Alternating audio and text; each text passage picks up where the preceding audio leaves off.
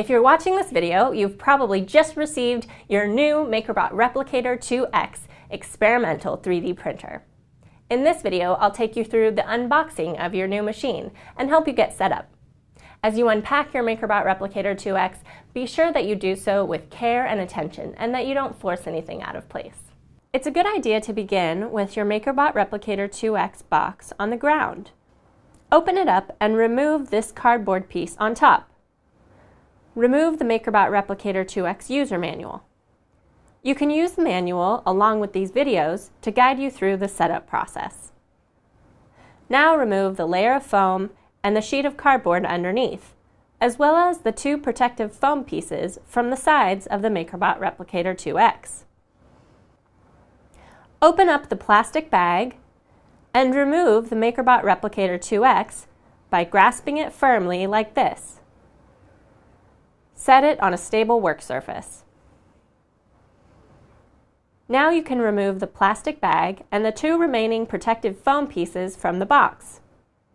At the bottom of the shipping box, you'll find your accessory box. Take that out too.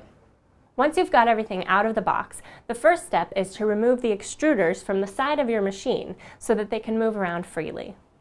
Carefully cut and remove these two zip ties and the plastic pieces that hold them in place. You'll also need to remove the small plastic piece attached to the lower gantry rods and the Y-axis belt. Just tilt it like this until it snaps off the rods and then slide it off the belt to remove it. It's important to make sure all these pieces are removed and to check that your extruder has the ability to move freely before moving on. The next step is to install the door handle on the front of your MakerBot Replicator 2X.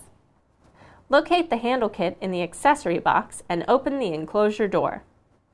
Raise it up to a 90 degree angle and place the handle here. Make sure to align the holes in the handle with the holes on the enclosure door.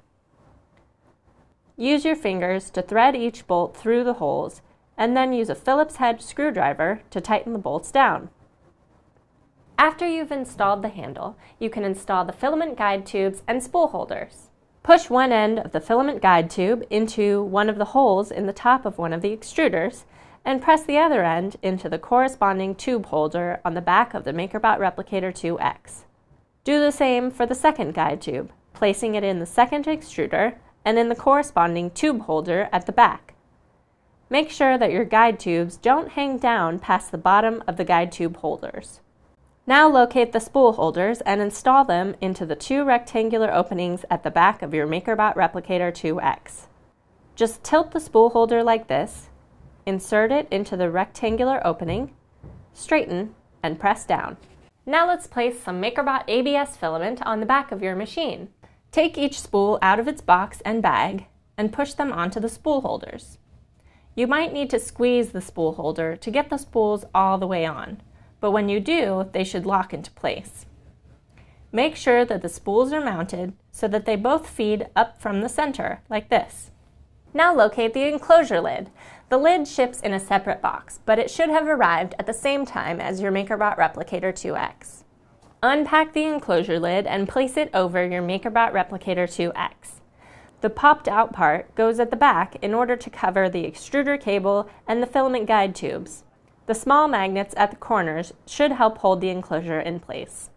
The last step in the unboxing process is to get some power to your MakerBot Replicator 2X. Locate the power supply and cable and ensure that the power switch on the back of your MakerBot Replicator 2X is set to off. Attach the cable to the power supply and insert the power cord into the port on the back of your MakerBot Replicator 2X, with the flat side facing down. Once you've successfully set up your MakerBot Replicator 2X experimental 3D printer, you can move ahead to the startup process, where I'll show you how to level your build platform and to load your MakerBot ABS filament so that your MakerBot Replicator 2X can make its very first thing.